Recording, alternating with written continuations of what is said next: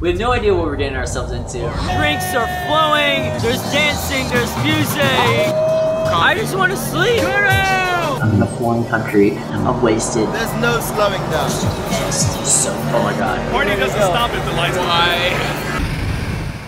And now I know, I have no idea what's going on.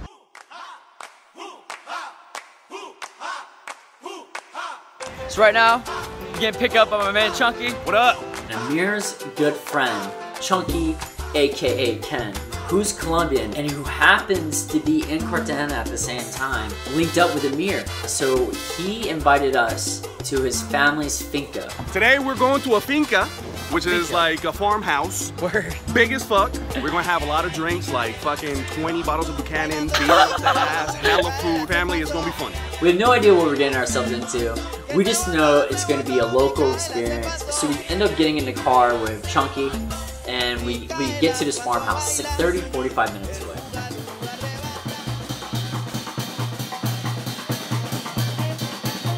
The three of us walk in with Chunky and instantly we get head started. So we're kind of a little nervous. Like, you know, we don't really know what's going on. We're like, okay, you know, we're it out. We're the outsiders. But uh, Chunky's uncle, whose part is was, comes on with wide open arms. He's already drunk. He's like, hello! And so he's like, come here, everyone, come here, everyone, come here, everyone. We're like, whoa, okay, okay. So uh, he brings us around and we start meeting all these people. And we're like, okay, cool. We're like, getting the feel of like everyone here at the party. This is great. We just got here, there's gonna be some food served, there's birthday cake being served, there's drinks are flowing, there's dancing, there's music.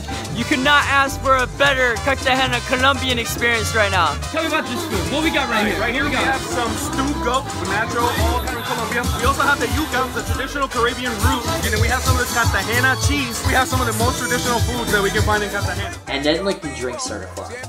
Oh, nah.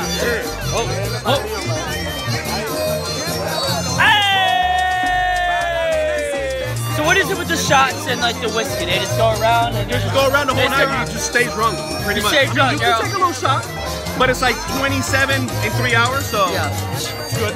It's having a good time. It's having a good time. So all of a sudden the lights went off. The lights went out. Let's uh just making the most of it until the lights come back on. Then we'll be Party ready doesn't go. stop if the lights go. Parties doesn't stop. It just doesn't. It Just doesn't. It's not. It's That's not. not how I roll here. You know, as the night goes on, I'm like, oh my god, this is gonna be. We've had a lot of shots. It's gonna be a, it's gonna be a long They don't. They, these Colombians, they don't drink water. They don't eat. They just drink, and it's it's only 9:30, and they're telling me I have to stay till 5 a.m. We're gonna be okay. Uh, yeah, I know. We'll be okay. I promise. He promises me. As soon as the lights finally went back on, Chunky's family and his uncle, they all came back with more booze. Oh my god. More booze just arrived. Why? There's no slowing down. There's no No. Okay, we'll just keep drinking. Keep drinking. Good vibes. Dan was learning how to salsa. We're dancing. We're learning some moves. And then, uh, one way or another, I I started getting real tired. It's pretty crazy. Um, there's just no end. But you know, we're gonna keep hanging out, having a good time, because we have no other option, no other choice.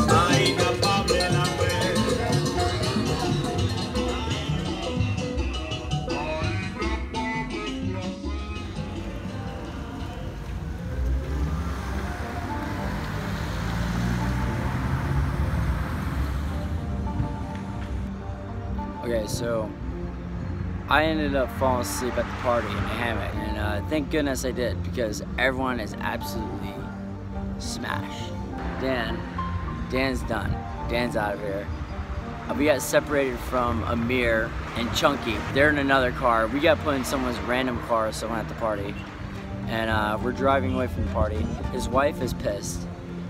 The husband is absolutely hammered and Dan and I are crammed in the back, and then we still have no idea where we're going. And she stops off the highway to decide where a gas station is.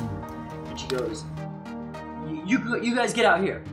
I'm like, it's, what, what's going on? Is Chunky coming? Or like, yeah, your friend's coming. Your friend's coming. In her broken English, that's what she said. So I just get out of the car with drunk Dan. And now I know I have no idea what's going on. I have no idea where Amir is. I have no idea where Chunky is. Called Amir. He's not picking up because he's probably hammered. And now we're just waiting. We got dropped off on this fucking sidewalk. It's probably 1 a.m. now at this point. We're in nowhere's land. Another 30 minutes goes by. Finally, Amir calls and it's Chunky on the line. And he goes, Where are you? Where are you? I'm like, I have no idea. I see this. I see this. He's like, I know where you are. Okay, so we just got back. Chunky and Amir picked us up. It's stupid as fuck. Uh, thank goodness. And now um, we're just gonna head back. It was a it was a great night. It was fun. not the end of the night. The end of the night was not fun. but uh, now we're in a car. We're we're together.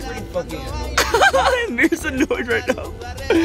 and so uh, good times, good times in Carthage.